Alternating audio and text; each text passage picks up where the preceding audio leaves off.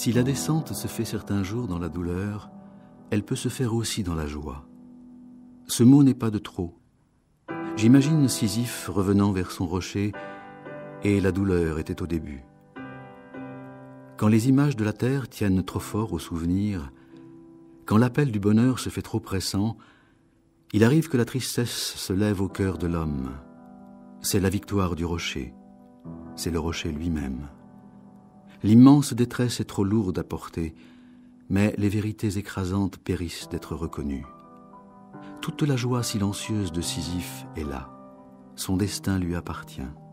Son rocher est sa chose. De même, l'homme absurde, quand il contemple son tourment, fait taire toutes les idoles. Dans l'univers soudain rendu à son silence, les mille petites voix émerveillées de la terre s'élèvent.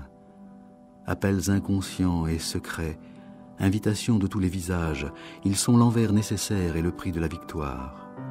Il n'y a pas de soleil sans ombre, et il faut connaître la nuit. L'homme absurde dit oui, et son effort n'aura plus de cesse. S'il y a un destin personnel, il n'y a point de destinée supérieure, ou du moins il n'en est qu'une dont il juge qu'elle est fatale et méprisable.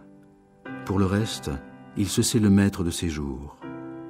À cet instant subtil où l'homme se retourne sur sa vie, Sisyphe, revenant vers son rocher, contemple cette suite d'actions sans lien qui devient son destin, créé par lui, uni sous le regard de sa mémoire et bientôt scellé par sa mort. Ainsi, persuadé de l'origine toute humaine de tout ce qui est humain, aveugle qui désire voir et qui sait que la nuit n'a pas de fin, il est toujours en marche. Le rocher roule encore. Je laisse Sisyphe au bas de la montagne. On retrouve toujours son fardeau. Mais Sisyphe enseigne la fidélité supérieure qui nie les dieux et soulève les rochers. Cet univers désormais sans maître ne lui paraît ni stérile, ni futile. Chacun des grains de cette pierre, chaque éclat minéral de cette montagne pleine de nuit, à lui seul, forme un monde. La lutte elle-même vers les sommets suffit à remplir un cœur d'homme. Il faut imaginer Sisyphe heureux.